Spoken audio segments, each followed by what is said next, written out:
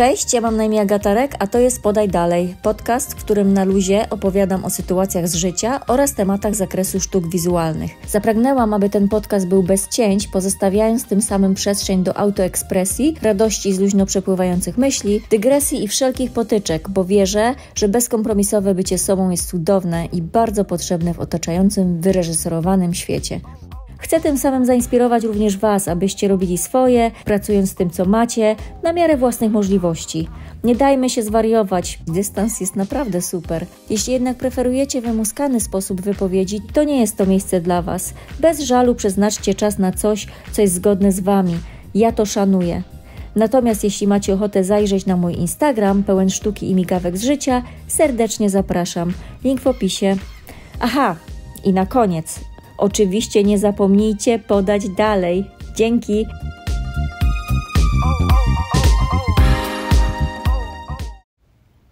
Cześć, mam nadzieję, że u Was wszystko w porządku. Ja sobie piję tutaj poranną kawkę, więc mogę jeszcze bredzić. Ale kto wie, może nie wypuszczę tego podcastu, jak mi się zachce, zobaczymy. W każdym razie siedzę sobie tutaj w pokoju razem z Jake'iem. Mm, co w ogóle jest zabawne dosyć, to to, że patrzę się na mój nowy, najnowszy obraz, gdzie jeszcze nie zmontowałam filmiku, który będzie na moim angielskim, anglojęzycznym kanale. Może zrobię dubbing polski, e, może nie, zobaczymy od, w zależności od czasu, bo ja również gonię się z czasem w tej kwestii, że nigdy nie wiem, jak długo zostanę w moim studio i będę mogła eksperymentować z dużymi formatami i tak dalej, tak dalej. Także ja lawiruję pomiędzy polerowaniem domu, um, ulepszaniem tego domu, a Mm, tworzenie w pracowni. Jest to dosyć duże wyzwanie, bo jako kobieta, która nie potrafi priorytetyzować e, z ADHD, to mm, chociaż sobie dobrze radzę, to nie jest tłumaczenie, żeby było jasne, bo tego też nie lubię swoją drogą. Żyję z tym i radzę sobie świetnie, uważam. E, no to jest to wyzwanie po prostu, to mam na myśli, bo dla mnie wszystko wydaje się równie ważne. Więc y, to oznacza, że jak widzę, że jest do, nie wiem, pomalowania pokój gościnny, y, to mam ochotę pomalować pokój gościnny. Jak widzę, że w szafie jest jakieś, są jakieś wieszaki, które trzeba, nie wiem, y, poprzestawiać, to przestawiam wieszaki zamiast siedzieć w pracowni, bo w tym momencie to jest najważniejsze. Ale Patrzę sobie na ten obraz tutaj i chcę Wam powiedzieć, jakie to ma ogromne znaczenie, gdzie obraz jest powieszony.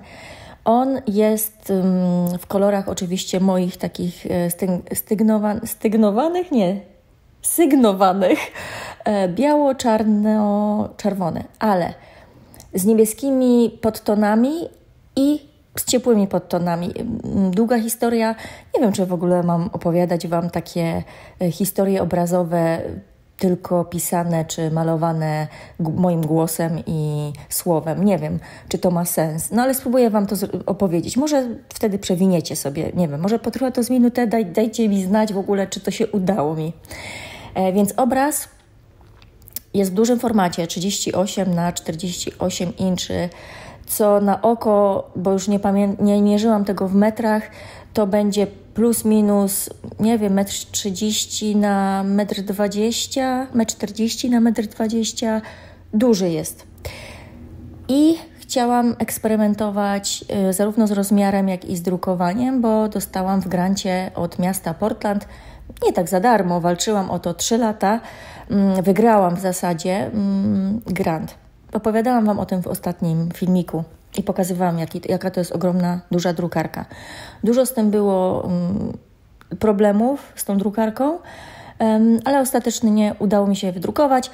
No i będzie o tym też filmik właśnie w języku angielskim, a może w języku polskim. W każdym razie jako próbna, próbny druk średnio wyszło to drukowanie, powiem Wam, jako jakość. Mm, próbowałam różne ustawienia, no jeszcze nie próbowałam ustawiać w Photoshopie po prostu podbicia ostrości, kontrastu, e, czerni bieli. To na pewno jest osobny skill, osobna umiejętność, której ja nie posiadam ze względu na brak doświadczenia w drukowaniu. Więc będę się tego wszystkiego uczyła. Aczkolwiek jest to, nie ukrywam, strach, bo tusze są strasznie drogie i chyba cała wymiana w ogóle tuszy kosztuje 600 dolarów, ale mam nadzieję, że czarno-białe będzie szło jakoś po, nie wiem, 200. Yy, boję się, nie wiem właściwie też na jak długo mi starczy. Mam paranoję, że wiecie, wydrukuję cztery, cztery kartki i już po imprezie. On strasznie długo drukuje, to są duże formaty, także mm, generalnie ten nie jest wydrukowany na całości, tylko po, w, w czterech częściach. No i udało, niestety nie udało mi się tego przykleić pomimo mierzenia jakoś równo, dlatego że wszystko kleiłam na, na podłodze, żeby się nie zsunęło i wtedy nie mamy odejścia perspektywy. I to jest dosyć duże wyzwanie, bo jeżeli sobie dobrze nie wymierzymy, a ja to wymierzyłam tak se, raczej nie, źle, nie sprawdziłam tego w pionie. To był mój błąd. Y, to zszedł ten obraz, jakby zjechał optycznie na prawo, y, na dół. To są takie techniczne rzeczy, trudno mi to trochę wyjaśnić w, w wizualnie.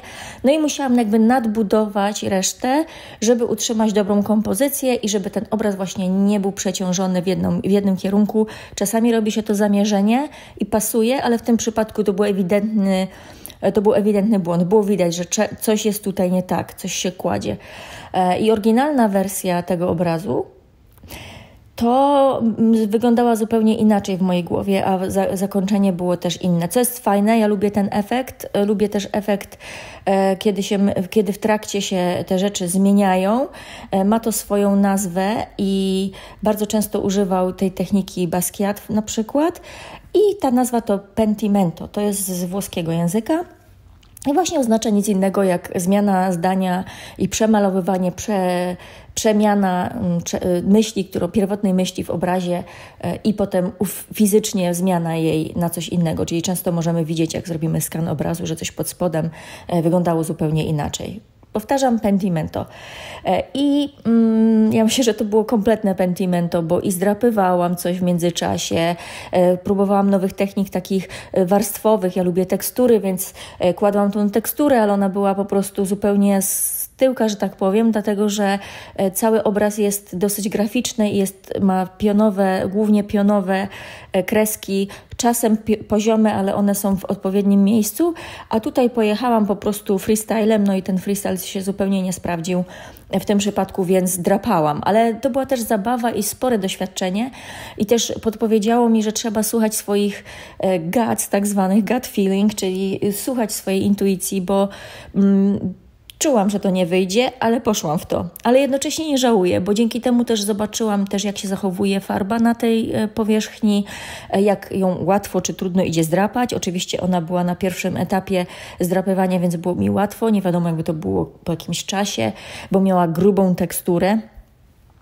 E, ale nie żałuję tego w ogóle. To było kilka godzin dłużej, ale ten obraz też jest symbolem tego, że ćwiczyłam na nim dużo.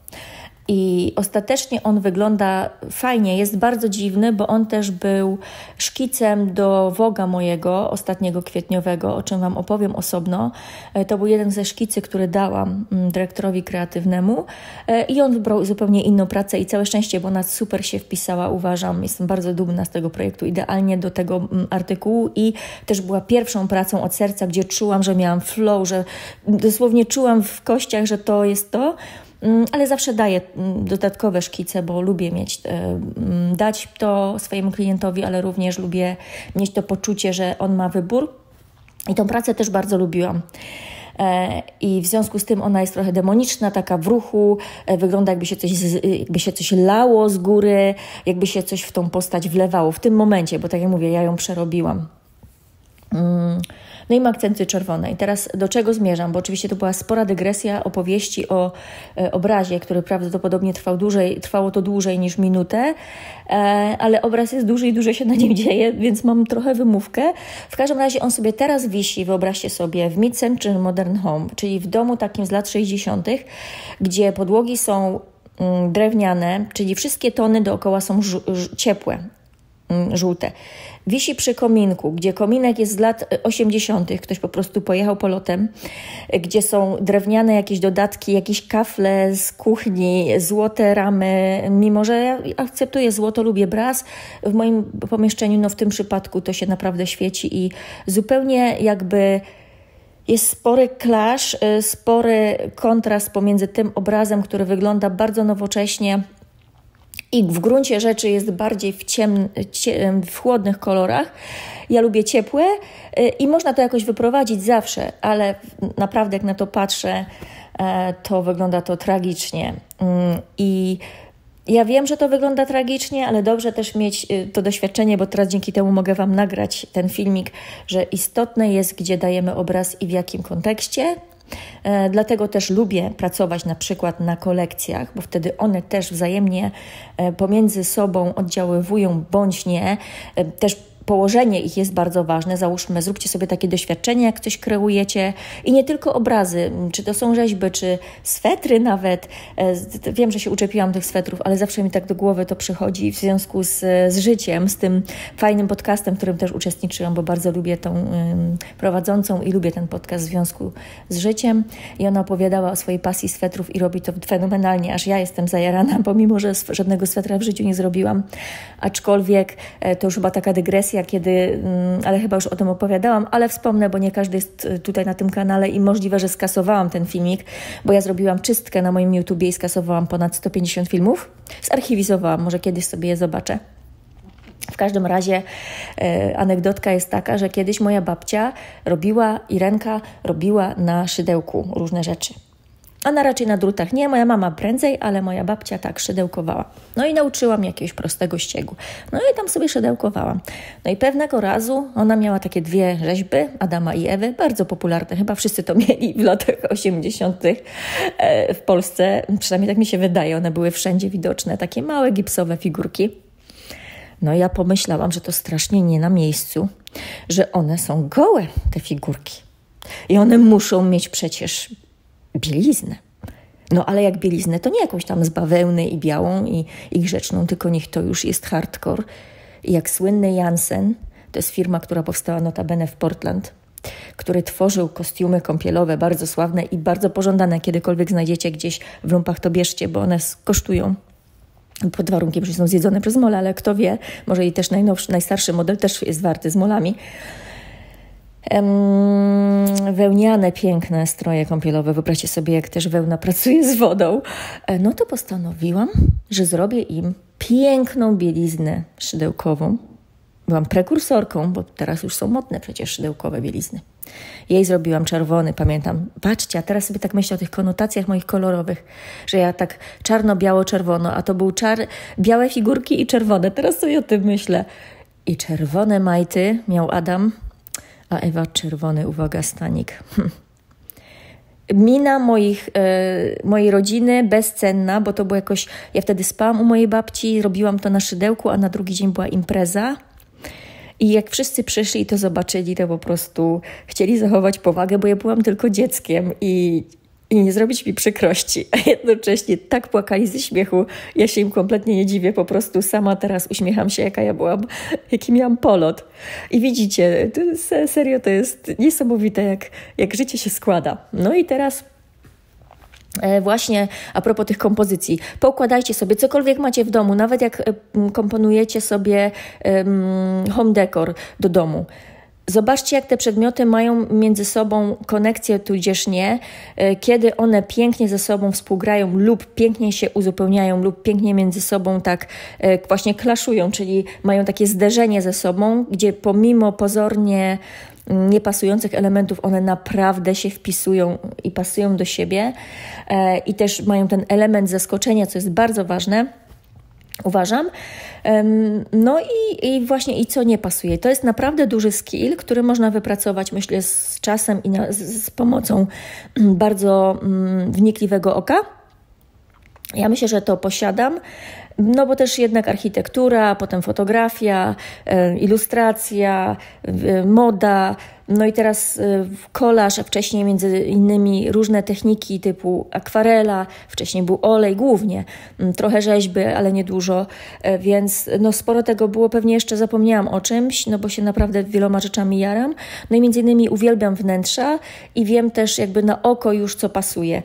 I też muszę tutaj e, sobie przyznać taki mały medal, ale też e, to, że to udowadnia nam, że bardzo często mamy ten syndrom oszusta, bo mi się wydawało, że to jest prosty skill.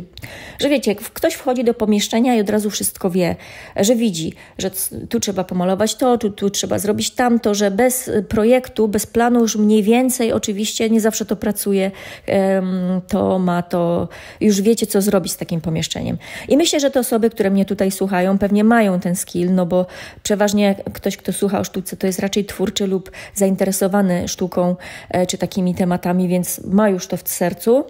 E, no ale jeżeli nie, no to, to pewnie wiecie o czym mówię, bo Teraz ostatnio mamy nowych sąsiadów. No i mnie poprosiła ta nowa sąsiadka Whitney, właśnie, czy mogłabym przyjść i pomóc wybrać kolor ściany. No i ona sobie tam wybrała. Ja oczywiście tak normalnie, bo mi się wydawało, że to jest normalne, zaczęłam jej opowiadać różne rzeczy, typu e, co, mm, jak ja to widzę. Ona nie wiedziała, jaki kolor, z czym.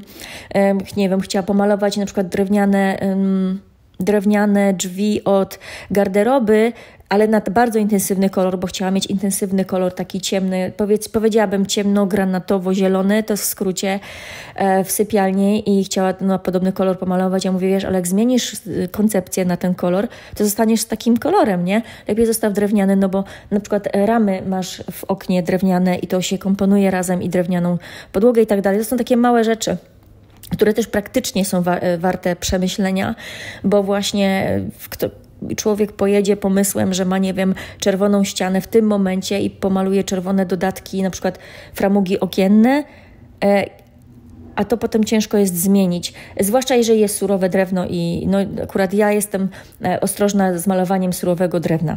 Jak już one było e, wielokrotnie malowane, to nie mam takiego bólu tyłka, ale jak, jak jest świeże i takie oryginalne, to lubię też oryginalne rzeczy, bo też dlatego między innymi na przykład my kupiliśmy stary dom zamiast nowego, bo chcieliśmy mieć stare, oryginalne elementy. No ale to tak w dygresję.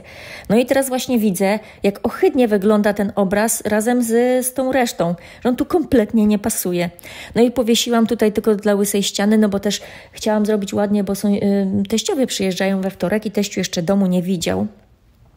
Oni mieszkają w Michigan. To jest naprawdę tak, żeby Wam pokazać, jak to jest daleko, to chcę Wam powiedzieć, że to jest 8 mniej więcej godzin lotu, 7-8 godzin lotu i ostatnio oni zapłacili za bilet 700 dolarów, kiedy do, yy, do Polski idzie dostać bilet. No już teraz nie tak tanio, kiedyś tam raz mi się udało za 800, ale chyba teraz ostatnio płaciliśmy 1500. Ale to jest taka odległość, nie? I e, dlatego oni też rzadko przyjeżdżają, no i też nas długo nie było w międzyczasie i my tak naprawdę w tym domu nie jesteśmy, mm, powiedzmy, dwa lata, bo teraz już gubię czas przez te wyjazdy.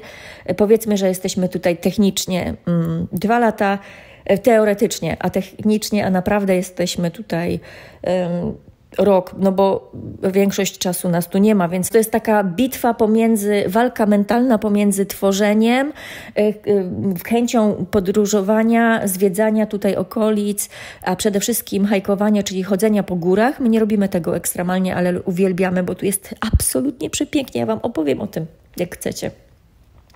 Jak jest piękny Oregon i to tak mało popularne myślałabym w Europie. Ja o Oregonie za dużo nie słyszałam, jak mieszkałam w Polsce na przykład. Wiedziałam, gdzie jest Oregon, ale nie słyszałam, że jest tak piękny. No po prostu wyrywa mnie z butów. E, po raz kolejny i tradycyjnie wzruszam się w przyrodzie i ona mnie tak regeneruje i Łukasza też, no i nie, było, nie ma czasu.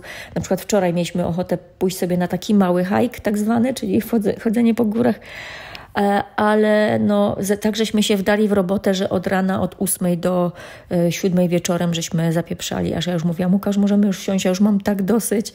E, no bo też oczywiście, wiecie jak to kobiety, Zaczęła, zaczęłam sprzątać od A, a skończyłam na C.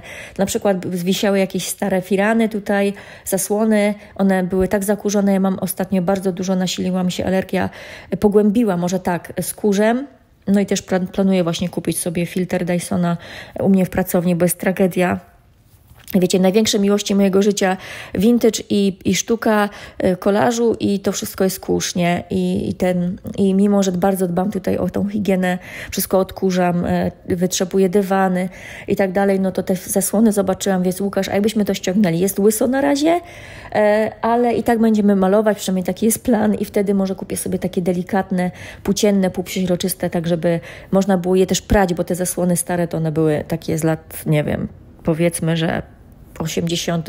i grube, piękne, uszyte, ale one wisiały w każdym pokoju te same. A może i oryginalne były z lat 60., kto wie, i one nigdy nie były chyba prane, bo jak raz wyprałam jedne, to one się totalnie rozwaliły, nie? Jakby poszewka. Yy, poszewka, nie, podszewka była e, zupełnie zepsuta, mimo że prałam w zimnej, delikatnej, super delikatnej, e, na delikatnym systemie. Może i pralna, pralnia chemiczna, ale one tak naprawdę i tak nie były zbyt atrakcyjne względem koloru, takie szaro-buro-beżowe. Nie wiem, czy tu pasowały. W każdym razie zaczęłam na obrazie, a skończyłam na zasłonach.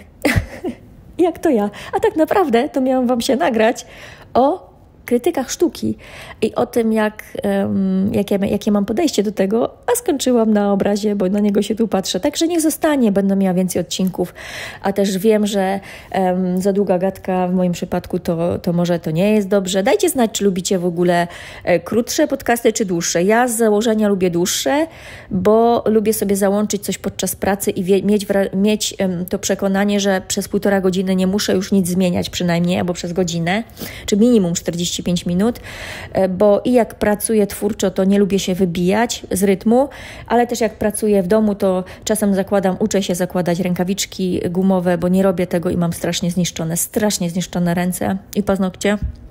Więc uczę się zakładać rękawiczki i potem jest wyzwanie, no nie? Jak chcemy ciągle to zmieniać. I ostatnio też bardzo fajne, już polecałam to na podcastach, zajrzyjcie sobie na ten podcast, e, na ten odcinek o podcastach, ale naprawdę fajne są te odcinki Pestka Shots, właśnie e, Preta Create i Preta Create, Malwa ma też osobny podcast Błyskotki i ona pięknie opowiada o sztuce, w ogóle marzę, żeby tak potrafić. Ja to jestem swojska, ale myślę, że trzeba być sobą, bo nigdy nie będę tą Malwą, nigdy nie będę kimś innym, więc e, może to też jest ok. Mm, ale chciałabym się z nią kiedyś spotkać, bo w ogóle to też z nią jest taka fajna sytuacja, że ona mieszkała we Włoszech i my się znamy typowo tylko z, z Instagrama. Nie jesteśmy ziomalkami, to byłoby za duże słowo. Mm, czasem wymieniamy się mm, różnymi małymi direct messages na Instagramie, prywatnymi wiadomościami, e, ale no, byłabym idiotką, jakbym powiedziała, że jesteśmy przyjaźnimy się, nie? Tak jak wiecie, widziałam Aleksandra Łęga, zrobiłam mu zdjęcie z moją byłą, e, z moją byłą szefową. Mam w telefonie do dziś, ale i bym musiała powiedzieć od razu, że się ziomkuje z nim, nie? No nie. W każdym razie ona wtedy, pamiętam, wspominała, mam nadzieję, że to mogę powiedzieć, że też miała spore wyzwanie mentalne właśnie podczas e, tych dni w latach 2020. Nie wiem, czy mogę wspomnieć zawsze ta cenzura nie wiem, czy do dziś to jest, ale kiedyś nie można było użyć tego słowa na P. Wie, wiecie, o czym mówię. W każdym razie e, ja też się zmagałam. Wtedy pisałam książkę o vintage, właśnie Vintage IZ, tego e-booka, e, gdzie do dzisiaj Wam jestem wdzięczna. Ktokolwiek kupił, dziękuję i też piszecie mi ciepłe wiadomości, że Wam się przydała, że się sporo nauczyliście. E, I teraz jeszcze a propos, taka tylko dygresja, bo się ktoś pytał ostatnio, gdzie mogą kupić tą książkę. Ona na razie jest w ogóle zdjęta, nie da się jej kupić. To jest, ja jestem mistrzem marketingu, mistrzem sprzedawania w ogóle że teraz Wam też tą książkę reklamuję, a nie da się jej kupić, ale jak ktoś bardzo chce, to przez PayPala mogę. To ona, właśnie ostatnio ktoś chciał kupić i musiał przez PayPala to zrobić, dlatego o tym wspominam, ale też wspominam przede wszystkim o tym, że właśnie wtedy ja sobie dałam to wyzwanie.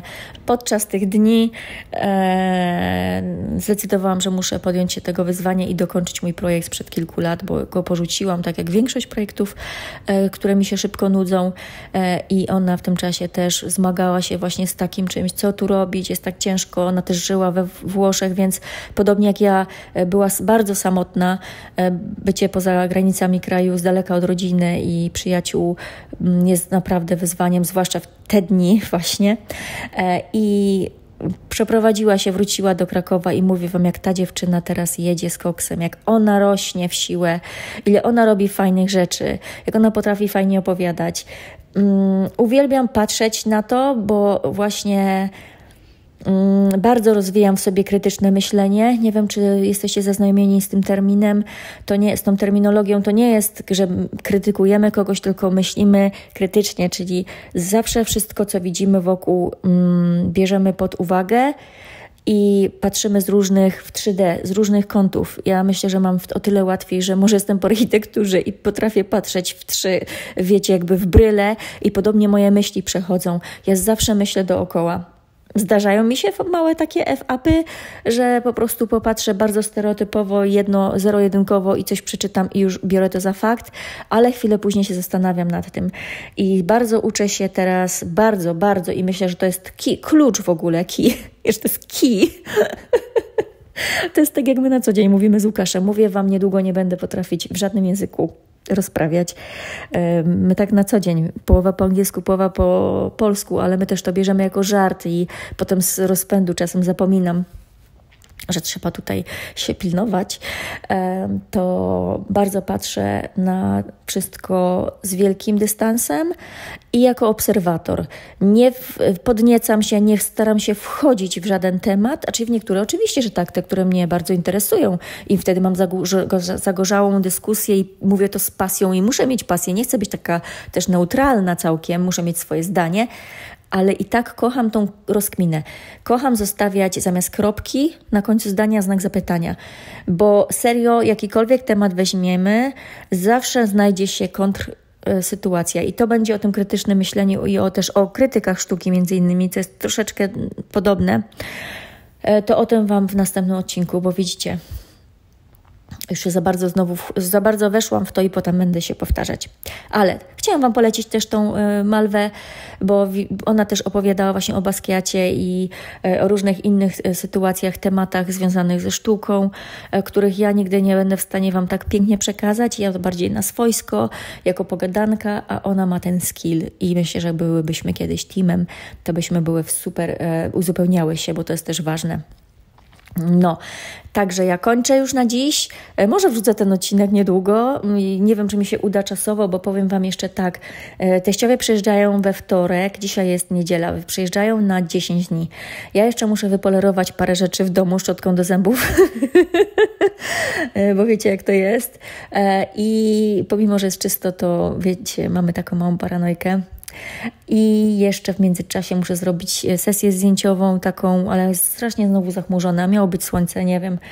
E, do tego jest potrzebne słońce. Jak mi się nie uda, to trudno już, jak teściowie będą. E, do, jako content do, mm, do paru rzeczy. O czym Wam na pewno opowiem lub pokażę. Mm, no i jeszcze muszę uzupełnić zakupy w Kostko, to jest jak u Was makro i to są duże zakupy, bo też pomagam mężowi i kupuję jakby dla jego, do jego pracy e, i też swoje i też jakby na dwie karty i to będzie wyzwanie i dużo tego wszystkiego będzie trzeba zrobić, także tu z trzy godziny, cztery nie, nie moje.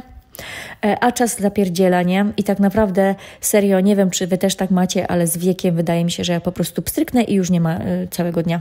Serio, że mój dzień jest tak od rana i nagle już pstryk i już trzeba iść z Jake'iem, moim naszym pieskiem, e, na spacer i już jest wieczór i znowu oglądamy Friends do spania. Ja znowu nie potrafię spać e, i później gdzieś tam zasypiam koło drugiej. No i dzisiaj się rekordowo obudziłam o dziewiątej, a wstaję o siódmej i teraz mam e, też trochę ból głowy, ale przechodzi na szczęście. No i w związku z tym, że mam ból głowy i wstałam o dziewiątej i zamiast brać się do roboty, no to rozmawiam do Was. Prowadzę monolog, to z rozmową to to za bardzo nic wspólnego nie ma. Dobra, spieprzam. Nie zapomnijcie zajrzeć na mój Instagram agatarek underscore official i link na dole oczywiście, jak nie wiecie gdzie zajrzeć, jestem tam zawsze. Macie ochotę, żebym, macie, jeżeli chcecie mieć pewność, że Wam odpiszę, dajcie mi koniecznie znać na mm, prywatnych wiadomościach na Instagramie, bo tam mogę się Wam też nagrać, a tak mi jest łatwiej. Jeżeli dziękuję za wszystkie komentarze, jeżeli na którekolwiek nie odpisałam, to przepraszam, już to z góry dziękuję i na przyszłość Wam dziękuję, bardzo doceniam e, i uciekam uciekam, a jeżeli jeszcze jedna rzecz, jeżeli chcecie, nie, nie drażni Was to, że Polak mówi po angielsku, e, to mam na anglojęzycznym moim YouTubie Agatarek właśnie ostatni proces e, myślowy i pokazane, co pokazałam Wam też, co zepsuło się, co, co bym Wam nie polecała, jak robiłam obraz do, moje, do mojej sypialni i do naszej sypialni, do mojej. I nawet Wam oryginalnie też trochę nagrałam filmiku, takiego jak zmieniam łóżko i zmieniam koncepcję, ale do dziś nie mamy jeszcze sprecyzowanego takich detali e, i w związku z tym mam jeszcze tego nie pokażę, a może i wcale, kto też wie. Serio, u mnie to jest różnie, ale trzeba jechać na żywioł. Tak jak w życiu, nie? Ile razy coś zmieniamy i to jest ok. Lecę 28 minut, myślę, że to wystarczająco na poranną gadkę. Zasło mi w gardle, muszę sobie jeszcze kawusi zrobić i bądźcie misi dla siebie, dla innych oraz dla naszej planety Ziemi. Nie zapomnijcie podać dalej, to jest bardzo ważne i podajemy dalej każdego, kto nam przypadł do gustu lub cokolwiek nam przypadło do gustu. To jest istotne, mega istotne dla twórców, bo my chcemy być widziani. To, co tworzymy, to, co robimy, chcemy po prostu mieć tą szansę. A kto jaką ma opinię później, to już jego sprawa. Buziaki.